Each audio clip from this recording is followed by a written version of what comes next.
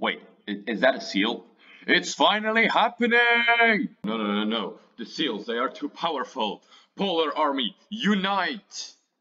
Excellent. So, first, the spacebar now attacks your weakest enemy. If you just put your slider up at 5% and then just spam the spacebar, you'll actually do a pretty good expansion. Uh, yeah, hi, Sir Faro. I've got a question. Uh, what can you do with... Wait, what's his name? Johnson? J Jason. What can you do with JSON files? I was just gonna explain it. I freaking hate that guy. Um, but where was I? Oh, I was gonna explain how to use the JSON files. So first thing you wanna do is you wanna download a template. It's just like an example. I'll uh, put one in my Discord and the link to my Discord will be in the description of this video.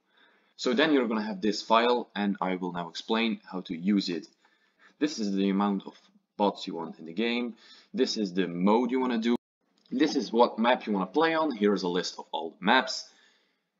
Here is the seed map. It's like in Minecraft. It's a variational map. It's like you can do variations in desert and swamp and maps like that. This is to choose whether or not you want to be able to pick your own position uh, write true all lowercase if you want to be able to pick your own position. False if you don't want to be able to pick your own position.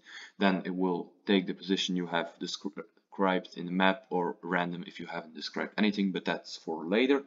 Um, here you can choose whether or not you want to pick your own name. If you write false then you won't be able and will take the first name you wrote in your file. We will see that later here is whether or not you want to be able to pick your own color. If you write false, you will have to specify in the file or it will give you a random color. We will see that later. This will be the name of the map. You will see this in the left screen. It's like Europe. Um, this is description. Usually that says like how many pixels there are in the map or something like that. You can write whatever you want. It doesn't really matter.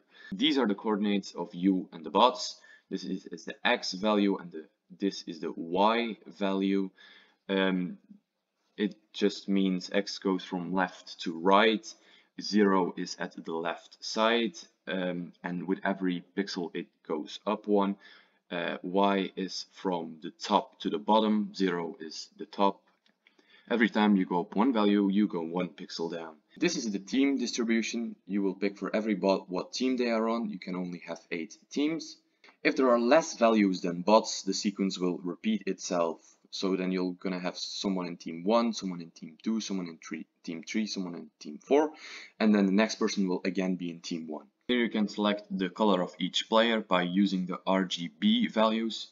I'll uh, put a site where you can do that in the description. And these are the names.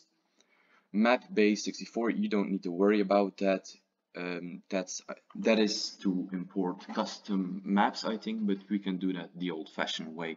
I'll show you that in a bit. If you now want to play on this JSON file all you need to do is drag the file into your screen like this and drop it. And if you then also want to play on a custom map with the names you gave to your bots and their positions and colors and etc.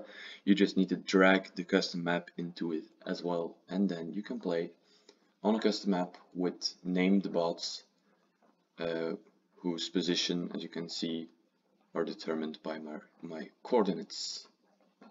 So yeah, enjoy!